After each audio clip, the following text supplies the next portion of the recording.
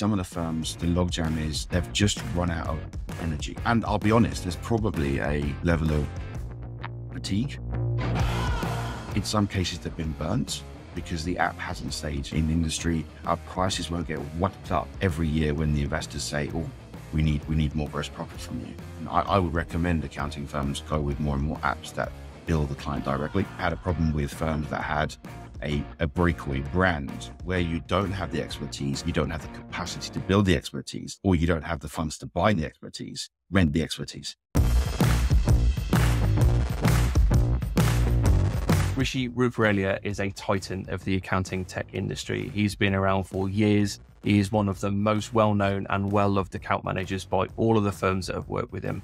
He's got years and years and years of experience in finding out what works and what doesn't within firms I'm really, really excited to kick off Counting on Change again with Rich because he's got a wealth of information to add, and I'm sure there'll be nuggets you can pick up from it. But without further ado, let's get into it. A couple of years ago, there were those issues, weren't there, with the lorries on the M25 where there was just everything backed up. Yeah. And if you think about the value of all of the goods in those lorries, it must have been millions. And it, that's what it sort of feels like to me in the app space at the moment is that there's so much value there, but it's all just log jammed, right? It can't move because there's some issue in implementation. Is that what you're seeing, or are you seeing a different picture of the world? I'm seeing I'm seeing two sides of that. So I'm seeing uh, definitely a logjam, and I'm seeing a, a for use the motorway analogy, I'm seeing a hard shoulder where uh, there some of the firms are available and calling you via via the hard shoulder, and other firms you're logjam behind a number of different processes. Um, I think the logjam is not a bad thing if the firm is doing the right thing. And I, some of the firms I'm working with have said to me, Rish, this will be a year before we even look at you as a product. Um, but what it is, is we're doing the due diligence of every single app that we put into our stack. We right. will test to the hint. We'll test it fully. So we'll, we'll do ev- all the due diligence on this, this type of an expenses app, for example. We'll do all of the due diligence on a payments app we'll do, and this will take a number of months to go through, but we'll have a plan where that app stack that we've got is exactly what we need it to be. We've, we've done the due diligence on our client base. We've done the due diligence on the product base and we're going to put it to, put it to our clients and this is the recommended stack. And then we'll review on a regular basis. So when the, when the logjam is that, I genuinely have no issue with that. What I feel is some of the firms, the logjam is they've just run out of energy in, in implementing this process. And I'll be honest, there's probably a level of fatigue, cool. um, especially with the quote unquote early adopter firms where they went hard with Xero. They went hard with the apps that came around Xero, the five or six that every firm needed to have. They went with those. And in some cases, they've been burnt because the app hasn't stayed stayed in, in industry or they've changed pricing so it doesn't quite work. And there's a lot of time taken to learn an app, to implement it, to make it as part of your process and for that to be pulled on you. And then you have to go, go back to the drawing board. Um, and what the recommendation I have for accountants on that is look for an app that doesn't just focus on accounting. So an app that will help you in an accounting space, but has an income stream outside of the accounting space. Um, that sounds like I'm talking about Airwallex, and I'm, I'm genuinely not. Um, it, I just feel that the, the, challenge you'll have with apps like that is we will we will never completely make the perfect for accountants, but it will be very close to that. Uh, unlike an app that's specific for accounting firms, but we have an income stream that comes in outside of the accounting space. That means that you're not worried that we're going to pull out the market very quickly. Mm. We're not relying on the accounting space. So our prices won't get whacked up um, every year when the investors say, oh, we need, we need more gross profit from you. That's, that's what happened. We, we spread our risk between the different markets that we work in so that you know the product is there for a long term and you can build your processes around it. Just looking for a sustainable business, right? Like you Correct. and I both will have had that challenge and that common objection in the early Xero days of, well, what if Xero goes bust? Um, it was, it was, a, it was a, sorry, it was a reg, yeah, it was a regular question. It was, uh, yeah. Uh, you, you, and, and, accountants, for didn't like the fact that we were not profit making. Um, Mm. So I, I went to accounting firms who said, "We're looking at your books. You haven't made a profit in X." And I went, "We we gave the investors a choice. Either we make a profit now, and the profit is here, or we make a profit in five or six years' time, and it's off the screen. You can't even see the profit anymore because it's that good." So that was the choice that we made as a business.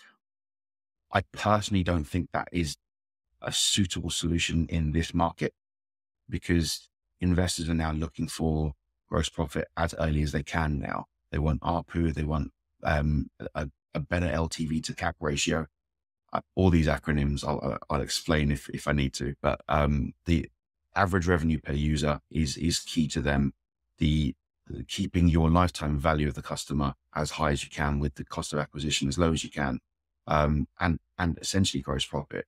Previously, it was all about revenue and numbers. Those are vanity things. It's gross profit and, and ARPU and LTV to CAC, which is the key driver for investment in a product. So, how do you see that impacting the way that accountants and bookkeepers can expect to engage with vendors? I would, I would say that I, I think there'll be less of a, the accountant needs to take on the subscription conversation.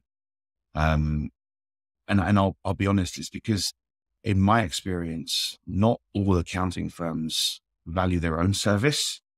So when an app increases its fees, they push back a little bit harder than the business would.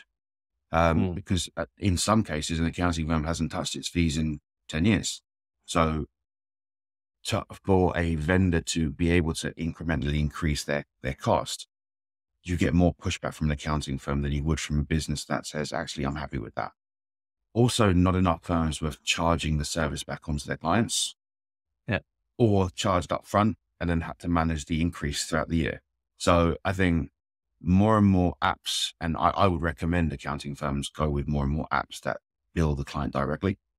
Um, there's this, there's this harder process to get the client to embed it because of that. But once it's embedded, it's an easier process to have. And so, if, if you think about the firms that you're working with that are really nailing this, so they're like nailed their digital transformation, they're starting to offer that, well, they've integrated it properly into their workflows and they're getting the value out of it and they're transporting that value to the client.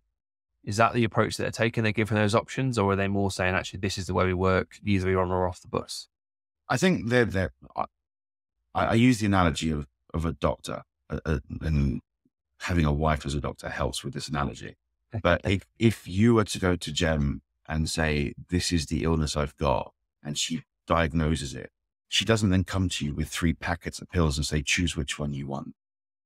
Yeah. She says, my years of experience and the degrees and all of this has said, this is the, the packet of pills to take for the course of this, this illness. And I think not enough accounting firms have the confidence to go to their clients to say, this is the solution. Likely to be Xero, doesn't have to be, but likely to be Xero. And then this app, this app, and this app will be the, the, the tech stack that you need in the business. And I'm basing that on the, my knowledge of other businesses in the same industry as you. And I'm basing that on other bits and pieces. I think the messaging is important. You can't just say this is the solution end all because the inner six year old, and I've got six year old who might walk in at some point today, just why, why, why? So preempt the why. Explain to the client why you've made this decision. Give them a really good understanding of the decisions you've made in the practice to choose that stack of solutions or that single solution for their client type, and then refer to other clients that you've em- embedded it into. So that sounds like really good advice. Um, and it sounds like a very valuable conversation for the client as well. Also sounds quite time consuming. And it sounds like someone's got to take responsibility for that in the firm. So someone's got to be the person that's going to sit and go through that. They've got to, like you said earlier on, do the due diligence, um, have that discussion, guide the client through that journey. How are firms that you're working with finding the time and the capacity and the expertise to be able to deliver that? Because that's a real roadblock, isn't it? It, it is a roadblock. I think uh, in the smaller firms, um, they've ha- the, the, they haven't had to do the level of due diligence that larger firms seems to have to do. Um, they they do it by having a client come on board, making sure it works, and then that's their due diligence. So they use it use it as sort of a internally they use it themselves, or they use Yeah. a, a friendly client to embed the solution into, work out the kinks, works out work out what it needs to happen, and go actually this can work on these number of clients here. Um, with the larger firms, we've had a proper due diligence. So we're jumping through many hoops. Um, I'm getting legal teams involved. I'm getting uh, information security teams involved to make sure that everyone's comfortable with what we're doing. Um, the other side is just some of the help information that we've got on our own website is helpful because um, it, for the, the Wallachs example is we protect every penny a client gives us. So unlike a bank, we're not bound by the 85,000 FSCS guarantee. So sharing that information typically just says to a client, actually, this is safe and it's about safety. Yeah. Once they use the solution and, and most cloud-based systems natively are easy to use when you go into them. There are some complications that you, and some kinks that you need to understand, but in the main, you can see them and they just, they seem to be intuitive. So I, I get that, but it's almost like hmm. giving a really easy word word search to a toddler, but not telling them the the words that they need to find. Right? You can find words in there, and that's how I feel about intuitive software. Like I can probably find a way to do it, and it feels intuitive. But unless I know that I've got it right, I'm still going to have that nagging doubt in the back of my head. So I think education is really, really important. But what you mentioned there about how firms are using your resources to allay those concerns with clients do you feel that vendors need to do more to provide accountants and bookkeepers with content to help with that conversation with the client? Like, is there is there more responsibility on the vendors for that? Do you think? Most definitely. So for me, um, I think there needs to be uh, not just the, the, the content on the security of the solution, but also a, a play-by-play on how to use it. And we go back to Xero. Xero, you go into it, it's simple. And, and a lot of accounting firms push back when you went to them with and say, it doesn't do what we need it to because um, on, on Sage, you do this, this, this, this, this. And on Xero it just seems to do one click and you go, that's, it's doing all that in the background. It's doing Yeah. what you need to do. This, this, this, this, this is happening in one click. Um, and it was explaining to them. And uh, until you showed them, uh, until a, a, an accountant that worked for Xero went in and said, actually, this is what's happening in the background, that allayed their fears on it being too simple. And then you go into the, the, the sort of the, the deep, dark bits of the reporting and the journals and everything else. And suddenly you see their eyes light up because it's easy Yeah. and complicated at the same time. And the beauty was it was a segregation of easy and complicated. Your, you didn't have to give your clients the complicated piece of the, the kit because they, they, you didn't want them to break it. The way Xero did it was you had the simple bit and you had the complicated bit. And the complicated bit, you had the certification process that went through, which Yep. wasn't as comprehensive as it could have been. But I, I don't think if it was too comprehensive, people would have done it. Um, it was, I, I think you needed to be high level general. And then the super users can go in and start doing the really clever stuff with Xero and just come out with, uh, uh, just use Xero in a way that it was never designed for because you Yeah. found, you found a weird solution that works. Well, that's when you know you've really got adoption. I think when people start fooling around with things and using it in their own workflows and experimenting themselves, right, rather than just sort of colouring by numbers or whatever. Yeah. Um, but so if we go back to that analogy, then that there's there's all of these tools, all these resources, they're sort of backed up on the motorway, and ultimately SMEs aren't getting to benefit from them. There's a lot of value on the table, but no one can kind of get to it. If we if we assume that that's a problem, right, which I kind of feel like it is, um, does uh, who's responsible for fixing that? Is it is it vendors or is it accountants and bookkeepers sorting out the implementation processes? Like where does that lie? uh, I, I'm gonna still directly on the fence here and say it aligns with both. Okay. Um, I, I, I, I think the, if your early adopter firms have got app fatigue, then the sort of the, the, the, later adopters are going to need to step up.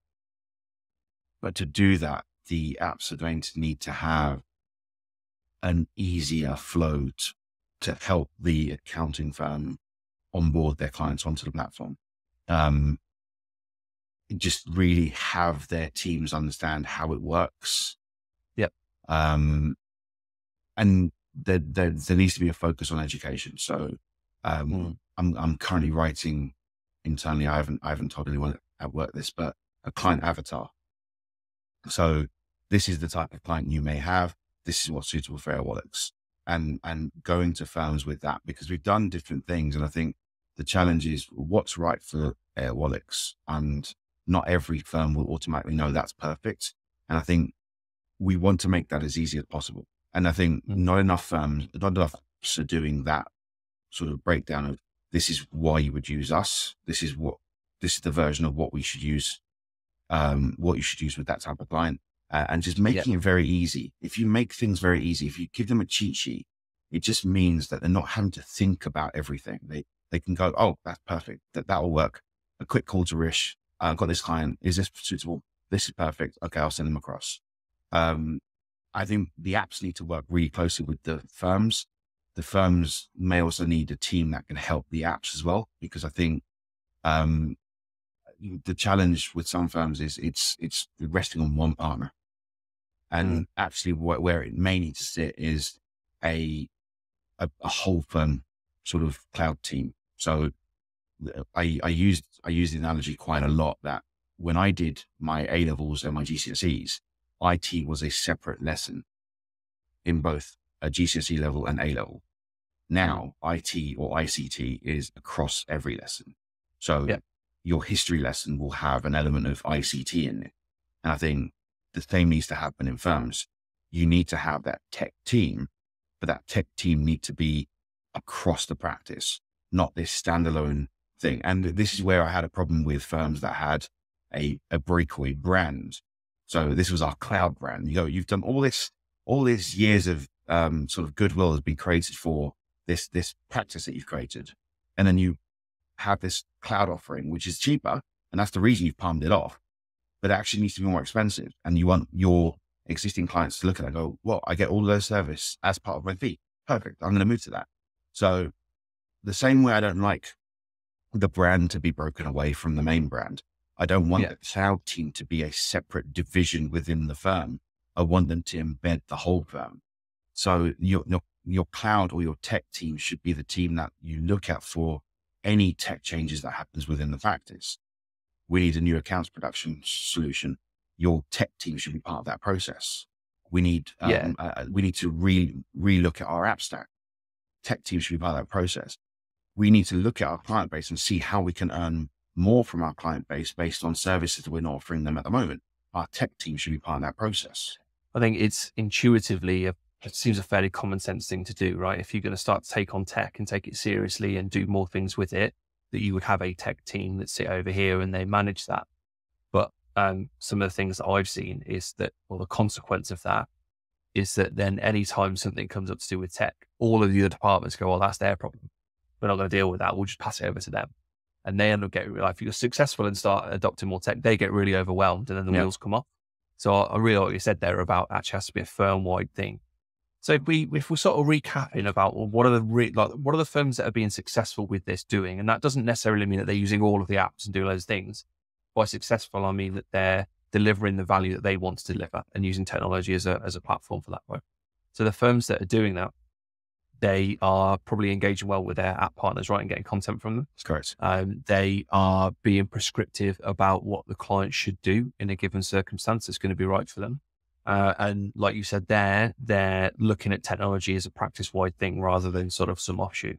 What else or what other tips or advice would you give people to be successful in this in this domain as a practice? So I, I look at we're going into cars again or or motorways again, but in, in the car, uh, let's ignore manual cars for now. In the car, you've got two pedals. One is go, yeah. one is stop. And you have to have your route planned properly so that the go stays as long as it needs to before you press stop. So planning is, is key to this is create an app stack that you know fits your client base. Understand the, the niches you have in the practice or the, the specialisms you you've naturally created in the practice so that you can build an app stack around the clients you already have and then build on that app stack when you need to. but limit your app stack to what you can physically handle. Um, so with some firms, the app stack might be five. For some firms, it might be 10. For some firms, it might be 15, or it might be a breakdown of these are the five core apps. These are the five additional apps. And then we will work with these five apps, but we'll actually outsource the implementation to someone else because we don't have the capacity within our team. And I think that last part is key is knowing where you don't have the capacity and say, actually, yeah. I'm going to bring in a trusted third party to bring this into me. The same way you would use a trusted third party to offer outsourcing to your own services, you yeah. also need to look at that from a tech perspective. So where you don't have the expertise, you don't have the capacity to build the expertise, or you don't have the funds to buy the expertise, rent the expertise all that assumes that you've got a strategy in place first, which which sounds like the takeaway there is sort of have that idea of where you want to go to, and then be intentional about where you spend the time. Do we outsource, like you're saying, to an implementer? Do we hire? Do we retrain someone internally? But I guess unless you've got that north star of a vision and the mission of where you're going with it and what the strategy looks like, it's really hard to come up with that stuff on the fly, isn't it? it, it is, and it, it starts from that first point of segmenting your client base. So really understand your client base and what they need. It, might even be that you ask the clients what what if you if you gave your client a blank sheet of paper to help with their finance process, what would the process look like? And then if if enough of those clients come back with something similar, find a solution that fits that and become the expert in that. Awesome. And so just to wrap up then, um, what would be one piece of advice that you would give to tech vendors in this space to better serve their accounting and bookkeeping partners and therefore be more successful to the channel? Uh, the one word is support. Um, mm. and, and to uh, sort of expand on that is really understand that the accounting channel is not a sales channel. It will never be a sales channel. It'll be a partner channel. And mm. if you partner with the right firms, if you partner with the right people in the right firms, they will help the, your, your product get into their client base. But you need to be there. You need to help them understand how to use the solution. You could need to help them uh, help their clients understand how it's going to help them and help them understand the, the, the, the, the savings on both sides. It may be a time saving. It may be a, a cost saving. It may be just a, a single process that makes my life easier because I haven't got multiple logins for different things. But you just need to work with them and give them give them the tools to help you sell your solution. Yes, it's a long term investment, right? Correct. Rish, that's amazing. Thank you so much for the uh, for the pearls of wisdom there. If anyone wants to follow up with you, ask questions, or just follow you on social media and, and hear more about what you've got to say, what is the best way for them to do that? Um, if you want uh, my rants, then then what was formerly known as Twitter. Um, but uh, LinkedIn is the best place to find me. So um, my name is Rishi Ruparelia. Just search Rishi Ruparelia Airwallex or Rishi Ruparelia Xero, and that will be the one that comes up. Um, and you'll see a bunch of selfies of me not smiling on trains. Amazing. Rich, thanks so much, mate. No worries. Thank you.